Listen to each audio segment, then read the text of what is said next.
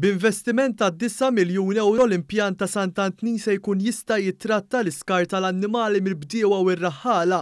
Dan l-investiment huwa mmirat biex iżid is-sostenibilità f'dan is-settur u jtaffi l-piż mis-sistema tad-drenaġġ tal-Korporazzjoni għas-Servizzi tal-Ilma.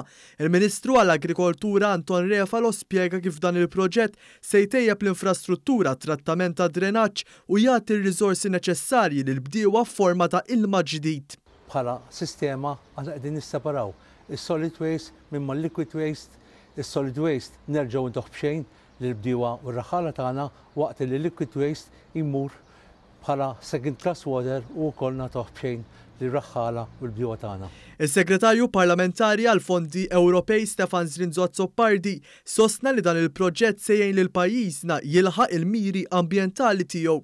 B'investiment ta' fondi tal-Unjoni Ewropea, hawnhekk qegħdin nagħmlu proġett ġewwa Sant Antnin f'Wied il-Għajn flimkien mal-Water Services Corporation biex jiġi ġġenerat aktar new water u naraw li jiġi ttrattat aktar drenaġġ. Il-Ministru għall-Iżvilupp Sostenibbli Miriam Dalli stqarret li l-proġett ta' New Water huwa wieħed ta' suċċess hekk kif il-produzzjoni tal-ilma ttrattat għall-użu tal-biedja irdoppja fis-sena 2020. Dan ifisser ukoll li ser inkunu qegħdin inneħħu t-tagħbija minn fuq l-impjant ta' Barkat u allura dan l-impjant jista' jiffoka aktar fuq produzzjoni akbar ta' New Water. U naf kemm il-bdiewa tan-naħa t'isfel ta' Malta għandhom bżonn New Water għall-biedja tagħhom. U importanti wkoll permezz ta' dan il-proġett ser naraw li nkunu qegħdin nindirizzaw l-iżbroff ta' drenaġġ fl-ibħra tagħna, b'mod partikolari fil-lokalità tax-Xgħajra.